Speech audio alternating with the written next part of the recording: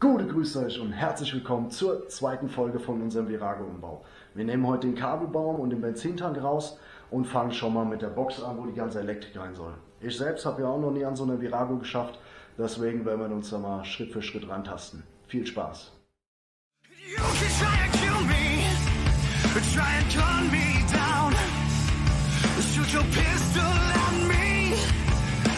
Laugh at the sound.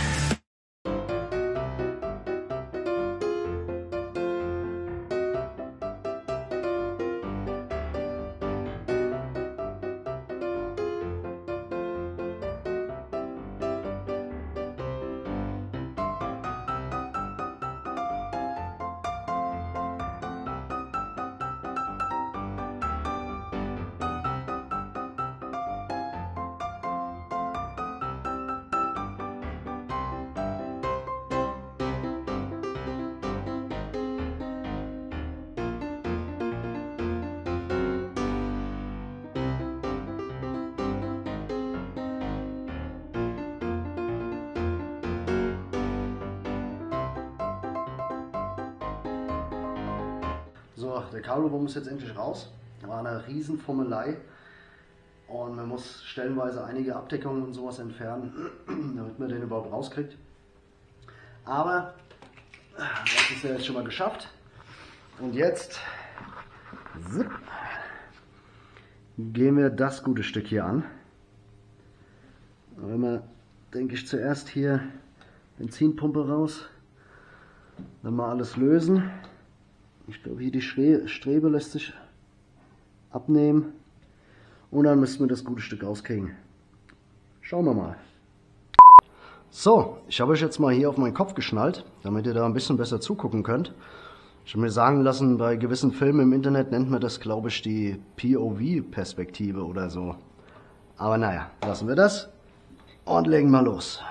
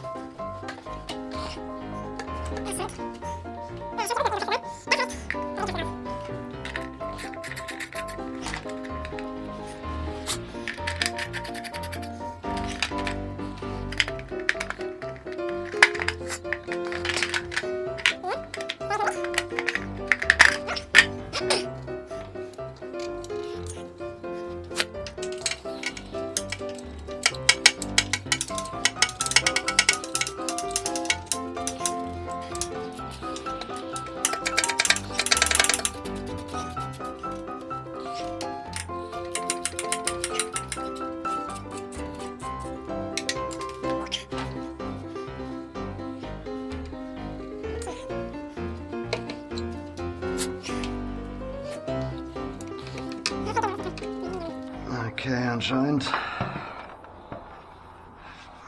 muss hier das innere Schutzblech vorher noch ab. Aller dann. Ja, das wäre einfach gewesen.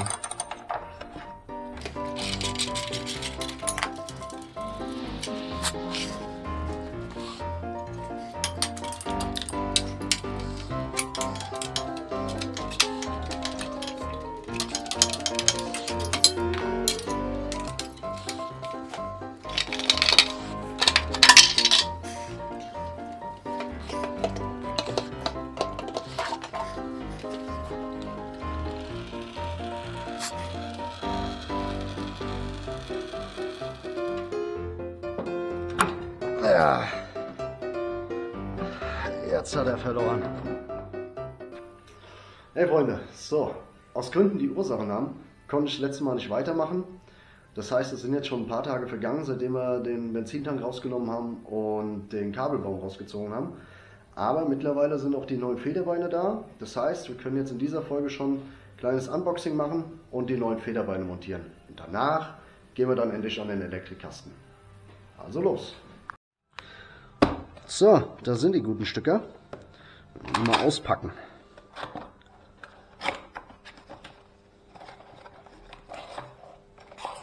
So.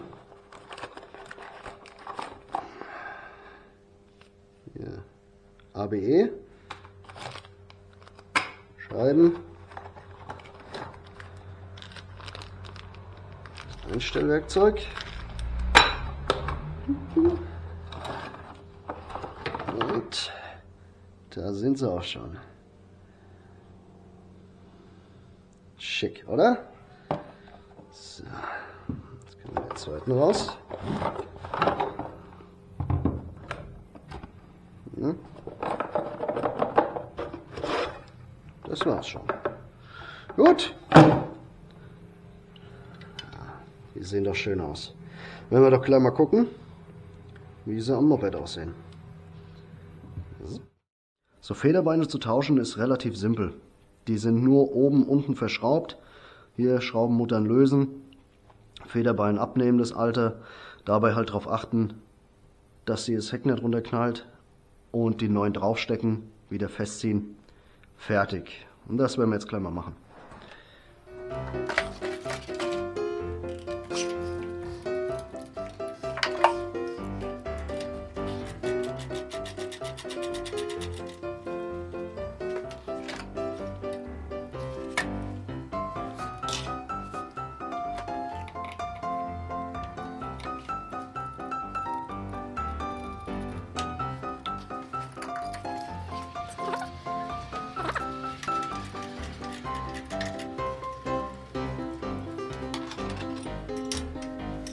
Thanks.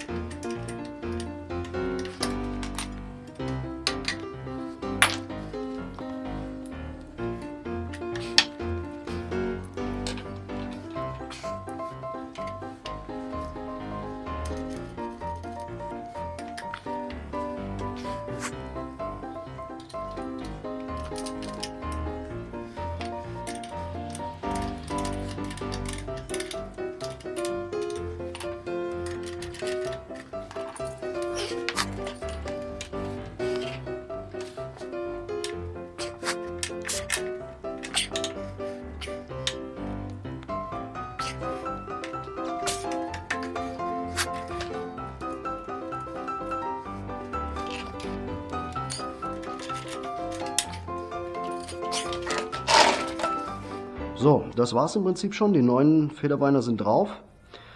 Wenn ihr mal guckt, hier das den Original dagegen hält, ist schon ein gutes Stück, was die tiefer gekommen ist. Und ja, die YSS, die sind genau 3 cm kürzer als die Originalen. Und jetzt haben wir hier auch wieder diese gerade Linie zum Reifen und das Ding steht nicht mehr so hoch. Jetzt kann man sich in etwa schon mal ein Bild machen, wie wir eventuell das Heck hinbekommen. Die Federbeine haben sogar eine ABE. Das heißt, wenn einem das reicht mit den 3 cm, einfach getauscht, dran geschraubt, fertig. Braucht ihr nicht eintragen, müsst halt die ABE mit euch rumschleppen, aber alles kein Problem. Kann man auch beim nächsten TÜV-Termin dann einfach abnehmen lassen, beziehungsweise halt ähm, in die Papiere mit eintragen. Gut, erlaubt, dann schauen wir mal weiter. Wer mich kennt, weiß, ich bin großer Freund davon, Sachen wieder zu verwerten. Und deswegen bauen wir uns jetzt keinen komplett neuen Kasten für die Elektrik, sondern wir noch so eine alte Gasmaskendose. Und die hat ordentlich Platz. Und die werden wir uns ein bisschen umbauen, Halter bauen und setzen uns dann da rein. Und dann ja, sitzt die so in so in etwa hier. So sieht man es besser. Und dann haben wir alles an Elektrik und Kabel. Läuft dann hier unterm Sitz in die Kiste rein. Und dann ist das schon mal alles raus. Man sieht nur das nicht mehr. Das Einzige, da bin ich mir jetzt gerade noch unschlüssig, ist hier das Starterrelais. Das sitzt da eigentlich ganz gut, aber dann siehst du halt hier von der rechten Seite noch die Kabel da davon und sowas.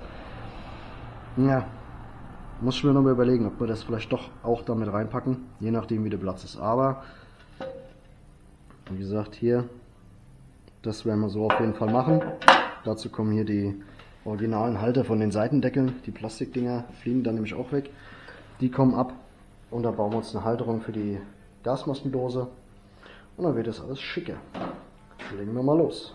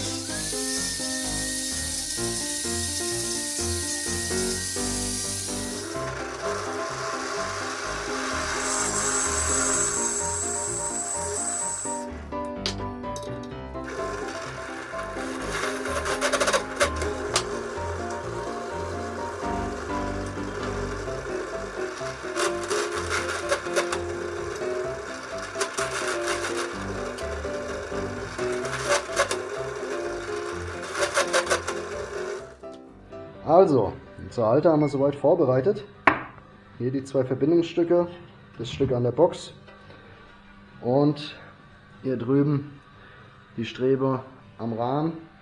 Die werden wir jetzt noch verschweißen, alle zusammen. Und dann sehen wir mal, ob das so passt. Legen wir los.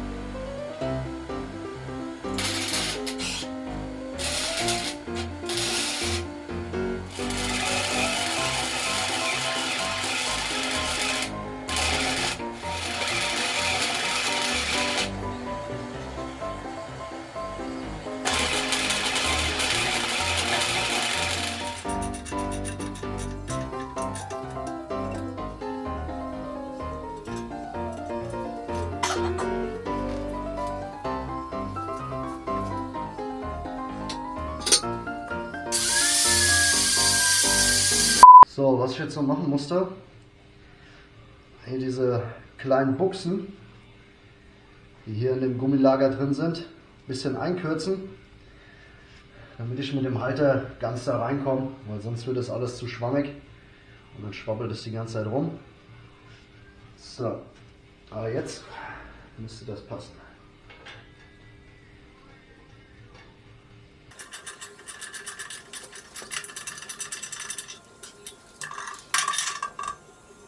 Und so sieht das gute Stück dann fertig aus. Das ist auch gut stabil. Höchstens hier mit der Vibration müssen wir dann mal schauen, ob das, ob das reicht, wenn auch die ganze Elektrik da drin sitzt. Inwiefern das dann vibriert. Eventuell muss man es dann nochmal vielleicht unten abstützen. Aber das werden wir dann sehen. Bis jetzt finde ich, da kann man sich das doch schon mal angucken hier. Ja. Gefällt mir. Den Test. Ja. Dann bauen wir uns hier vorne den Sicherungskasten irgendwo rein, dass wir da dann auch ganz einfach jederzeit rankommt.